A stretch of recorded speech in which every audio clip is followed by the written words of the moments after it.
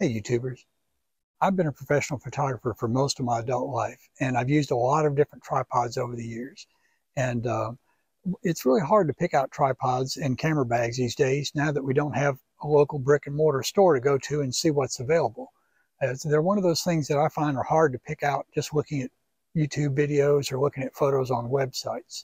Uh, so I encourage you, whenever you see another photographer, check out their gear. You might find something that you really like. But uh, I wanted to share with you the tripods that I have, uh, why I have them and what I use them for, and why I made the choices I made. Uh, and maybe this will help you out in finding what works best for you. Uh, so without further ado, here we go. So here are the three tripods I'm currently using. At the top, we've got a Gitzo GT2540 LLVL. Uh, they quit making these in 2017. Uh, I just bought this one used and I really, really like it. Uh, that has a uh, Benro GH2 gimbal head on it. And that's the one I use for birding and long lenses. Uh, in the middle, we've got a Benro A298N6 uh, called a FlexiPod. Um, I bought that one about 12 years ago and it was my go-to and only tripod for many, many years. Uh, I've got a Benro GD3WH geared head on that one. And uh, I use that for most of my freelance work for the museums. And also when I do uh, photograph people's artwork and what have you. And so I'll talk about that one a little bit. And at the bottom is uh, a Benro C2980T tripod with a B2 ball head. Uh, that one also is out of production. Um, it's sort of a carbon fiber version of the middle tripod.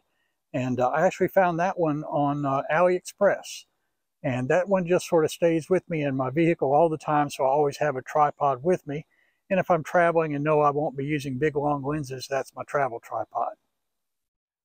All right, I'm going to start with the smallest and lightest tripod in my collection. Uh, this is the Benro C2980T leg set with the B2 ball head. Uh, this combination weighs about four and three quarter pounds. Uh, collapsed, it's about 24 and a half inches long. With the legs extended and the column down, the top of the column is about 53 and three quarter inches off the ground. The head is still available and sells for about $150, and I think it's a pretty good value. It's a decent head for that price. Uh, it will support 35 pounds.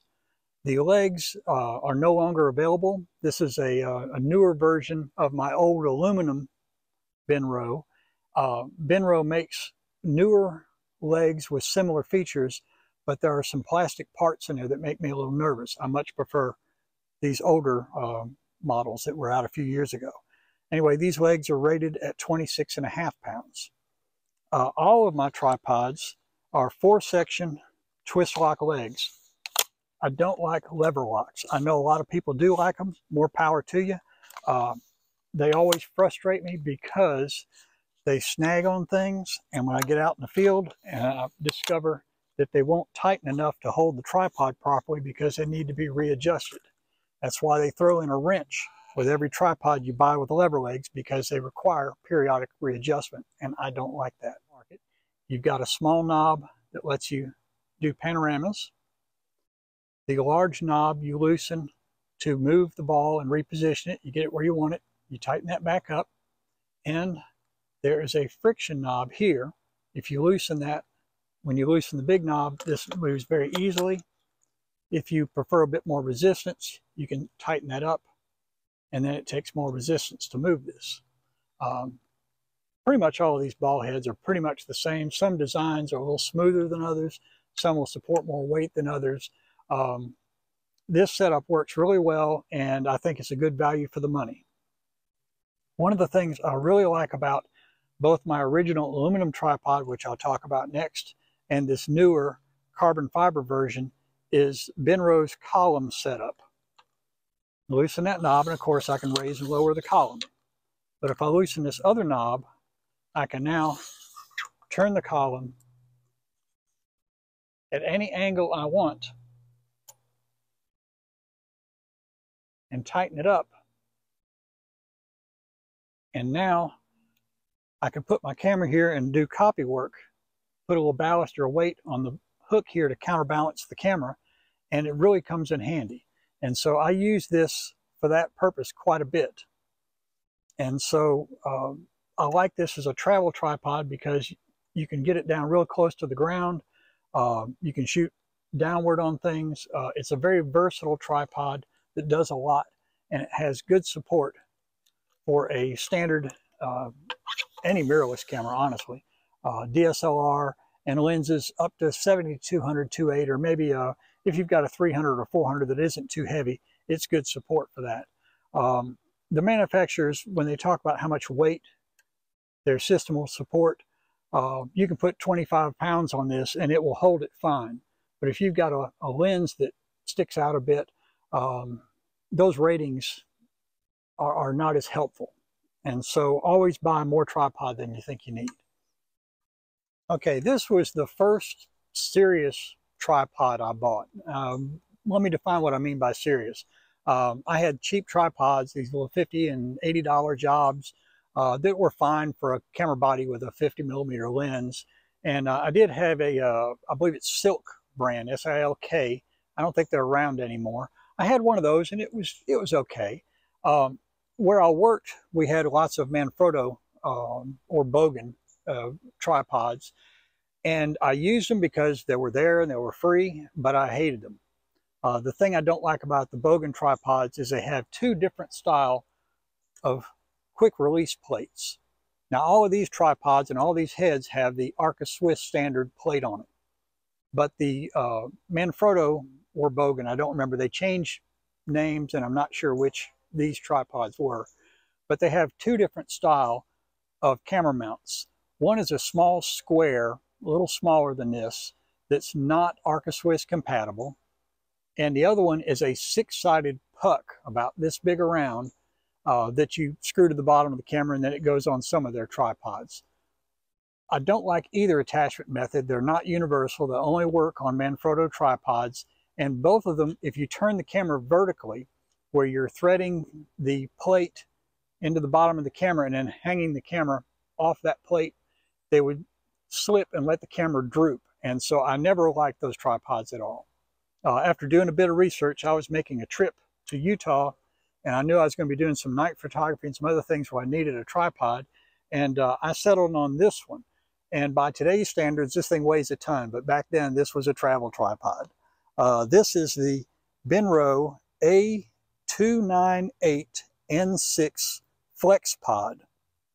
It has a Benro GD3WH three-way geared head on it right now. This weighs seven pounds. It collapses to 26 inches to the top of the tripod with the column collapsed. It extends to 57 and a half inches. The head still sells today for about 200 bucks and it's a really nice geared head for the money. Uh, it will support about 13 and a half pounds. The legs support about 18 pounds. Now, when I bought this, this was considered a lightweight tripod. They made a carbon fiber version, but I couldn't afford it back in the day, so I got this. Um, it's very similar to the newer carbon fiber version that I showed you just a moment ago. This one's about 15 years old, and the legs don't slide as smoothly as they once did, but this thing has been in surf. It's been in the uh, Utah desert. Um, I've left it outside doing time-lapse photography for weeks at a time. Um, I've really not taken care of it and it's held up despite all that. Um, it also has the similar adjustable leg level and it has the same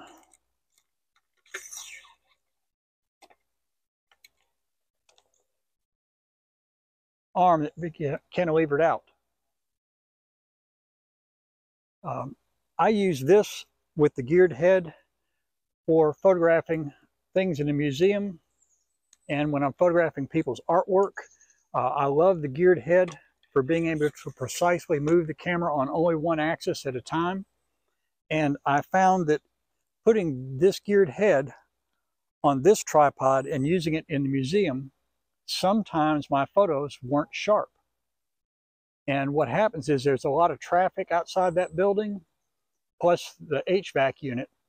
Um, if I get a long exposure, say, you know, a minute, two minutes, sometimes my photos weren't sharp. And of course, I'm triggering the camera remotely. Uh, so I'm not touching the camera. I'm waiting several moments for it to settle down after I do touch the camera, taking long exposures, and I would have maybe one in 10 that would be soft focus. Uh, the added weight of this tripod really helps. And uh, even with a bag hanging on this one, I think the old style heavy duty aluminum tripod, I think there's something to be said for that. I, I suspect that the carbon fiber legs are more likely to resonate even with weight on the tripod than the aluminum legs are. So um, I love this tripod for its stability and I love the geared head to be able to control very precisely. Um, I wouldn't want to travel with it though. But uh, what I was doing for a while is switching these heads back and forth and I've got a third head and I was constantly rotating things around and I finally recently picked up another tripod so now I have three different tripods each for a specific purpose. Like I say, this is my travel. I don't know what I'm going to shoot. I might need a tripod, tripod. This is my precision copy work and uh, a long time exposure tripod. Let me show you my newest one. Okay, this is the newest tripod that I just picked up a week or so ago, and uh, I'm really excited to have this. This is the Gitzo GT2540 LLVL leg set with the Benro GH2 gimbal head. Now this combination is actually lighter than my aluminum tripod over here. This combo comes in at about six and a half pounds. Uh, collapsed, the tripod legs are 34 inches long. With the legs extended to the top of the column, it's 58 and a half inches high. The head is still available. It sells for about 375 uh, That's retail. You can often find them on sale. I think I've paid about 220 for this head. It'll support 50 pounds. Now the legs were made from 2012 to 2017. They support 26 and a half pounds and the leg set was over a thousand dollars when it was available new. Now I'm going to turn this so you can see this a little bit better. What's special about these legs and why I like them so much is I looked and looked trying to find a leg set that had both an adjustable column and a leveling base. And if there's one out there, I didn't see it. I looked and looked. All the ones that have leveling bases don't have an adjustable collar. And the reason that's important to me is when I set up the tripod in my bird blind, and I may discover, well, there's a bird on the ground. I want to drop this down a couple inches. When I set it up, I usually extend the column about that far. So I've got a little room to work with. Well, maybe there's a bird on the ground. I want to drop this down a couple inches. Instead of moving around in my blind and trying to adjust three legs and scaring the thing off, I just drop it down. Maybe there's a bird up in the treetop I want to photograph and I really wish it was a little higher. There we go. I really enjoy having an adjustable column. I do like to have a leveling base because I'm rarely setting up on perfectly level ground. And so just loosening the lever, putting it where I want it. There's a nice little bubble level here to help you get it level. Let's see, that's it right about there. And I'm locked in now. Uh, I have a separate leveling add-on that I bought that goes um, in between your tripod legs and the head.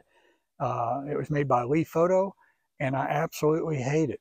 Um, it has levers on it similar to this, and you get it tight enough to where it will actually hold the camera gear steady, and then you can't get it loose. I've several times had to remove my camera from the tripod and bang on that thing to get it loose. So uh, I really can't recommend the Leofoto product um, based on my experience with their little leveling insert. Uh, this, on the other hand, is just as smooth as it can be. Um, I have a Gitzo monopod that is probably 25 or 30 years old. Um, it's been up and down the football field in the rain, it's been in the snow, it's been at the beach, it's been through heck and back, and uh, it still works great. And so the Gitzo stuff is very expensive, but you get what you pay for. And if you can afford to buy new Gitzo gear, go for it. You won't regret it. In my case, uh, my budget's a little tight. And so by buying used and seeking out some of these tripods that aren't made anymore but have the features that I want, I was able to get all three tripods and three heads for just a little bit more than I would have paid for the legs by themselves. Uh, I really enjoy having the right tool for the job, and so uh, I'm very happy to have these. They make my uh, my work a lot easier, and it's one less thing to be concerned about when you're on a job and working with a client. And um, I hope you find this helpful. I'm going to put links uh, for the things that are still available and uh, part numbers for the things that aren't. And uh, I hope you find this helpful. Please like and subscribe if you did. Thank you.